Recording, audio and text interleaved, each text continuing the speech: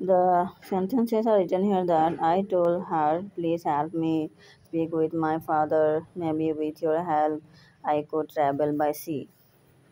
He told his mother that his mother will help him.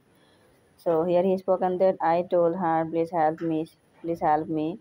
He spoke to his mother that uh, his mother should help him to travel by sea, and uh, he told his mother to speak with his father and uh, with his uh, and uh, with her mother's with his mother's help he could he could uh, he could travel by sea. He spoke uh, to his mother.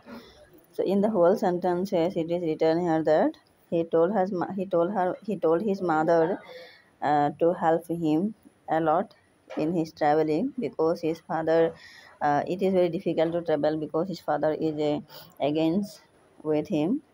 So it is very difficult to be at home and uh, as he start as he wanted to start his journey. So he told his mother to uh, support him to help him. The boy told he told his mother to speak with his father about his traveling and with the help of his mother he could uh, travel by sea